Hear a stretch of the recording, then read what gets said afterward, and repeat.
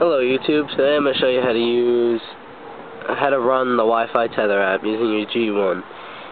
And uh, basically all you need to do is just follow either one of the two links in my description and it will show you how to do the Wi-Fi tether app. For an example, I'm going to turn it on here. It's that simple, you just got to click the green uh, Wi-Fi button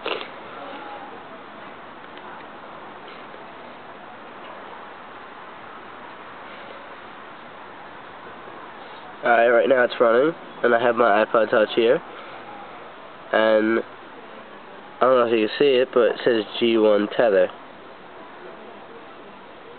I'm going to connect to it. That simple, I'm already connected. Now I'm going to go on a website, google.com, and Google loads that fast using the Wi-Fi Tether app. Now, I've used the Wi-Fi Tether app when I was going on vacation, and it does indeed work with a laptop. A little bit slower, but better than nothing.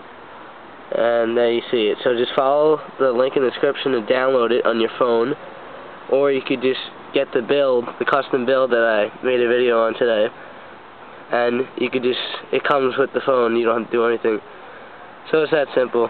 Just try it out. It's pretty cool.